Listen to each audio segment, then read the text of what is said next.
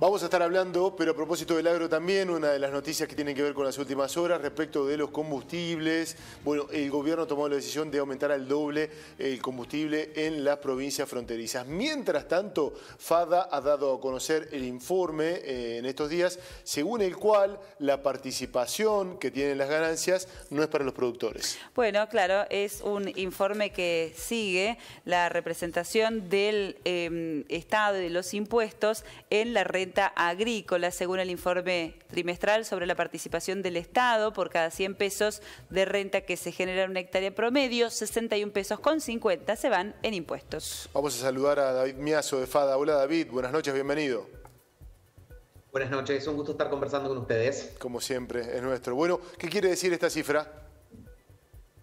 Bueno, esta es una medición que en FADA hacemos de manera trimestral que mide la participación de los impuestos nacionales, provinciales y en los casos de las provincias que tienen municipales sobre la renta agrícola, que como bien decían ustedes en la introducción, nos dio que para el mes de junio de cada 100 pesos de renta que se generan en los cuatro principales cultivos, 61 pesos con 50 es lo que representan eh, los impuestos eh, en esta medición eh, ha habido un dato principal eh, positivo, que ha sido el aumento de precios internacionales de los granos, que ha hecho que mejore la renta agrícola, ha hecho que, por ejemplo, si una hectárea de soja pagaba cerca de 74 mil pesos de impuestos nacionales por hectárea en marzo ese nivel haya pasado a 90 mil pesos por hectárea ahora en junio.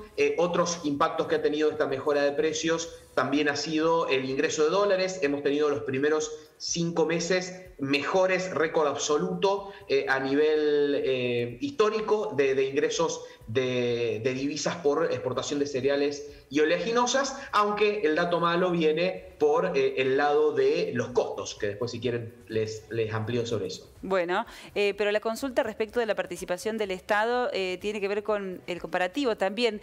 preguntarte si hay diferencias entre provincias, por ejemplo, en Córdoba el Estado tiene más participación que en Santa Fe, por ejemplo. Sí, también hacemos esta desagregación, eh, bien lo que estás preguntando, eh, para las provincias de Buenos Aires, Córdoba, Santa Fe, Entre Ríos eh, La Pampa y San Luis, donde eh, por ahí en este momento eh, provincia de Buenos Aires, provincia de, la de, Santa Fe están un poco por debajo del promedio, Córdoba está cerca del promedio y Entre Ríos, La Pampa y San Luis están un poquito por encima. esto responde a algunas cuestiones relacionadas propiamente con los impuestos. Por ejemplo, la provincia de Buenos Aires, además de pagar el impuesto inmobiliario rural, como se paga en la provincia de Córdoba, también eh, se paga ingresos brutos, eh, que las provincias, por ejemplo, de Santa Fe y de Córdoba no se paga, y eh, pagan también lo que son las tasas viales municipales, ya que los caminos rurales dependen de los municipios. Entonces hay provincias como Buenos Aires, provincias como Entre Ríos, que tienen un mayor nivel de participación de impuestos Influye por un lado eso, también influye por otro lado eh, los propios eh, rindes, digamos, la propia generación de renta que tenga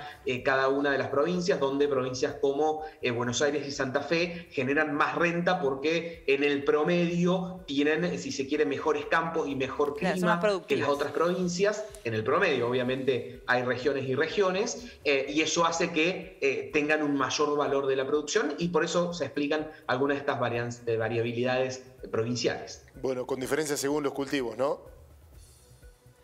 Tal cual. Eh, decíamos, 61,5% eh, es eh, el promedio de los cuatro cultivos. Soja está por encima de ese nivel, con por encima del 68%, principalmente porque tiene mayores derechos de exportación. Recordemos que la soja tiene 33% de derechos de exportación, mientras que el maíz y el trigo, por ejemplo, tienen 12%. Entonces, eso hace que esté un poco por encima del, del promedio. maíz un poquito por debajo, trigo cerca del 50%. 50%, eh, donde también, además de impactar un menor nivel de derechos de exportación, como en el caso, eh, respecto al caso de soja, eh, es uno de los que mejores incrementos de precios ha tenido en los últimos meses en relacionado a la guerra de Rusia-Ucrania, en particular porque Rusia es el primer, el principal exportador mundial de trigo, entonces ha sido uno de los, de los cultivos que más ha subido de precio y que justamente en este próximo mes está comenzando la siembra de trigo que se va a cosechar hacia el verano. Bien. David, gracias por tu tiempo. Buenas noches. Un gusto conversar con ustedes. Un abrazo.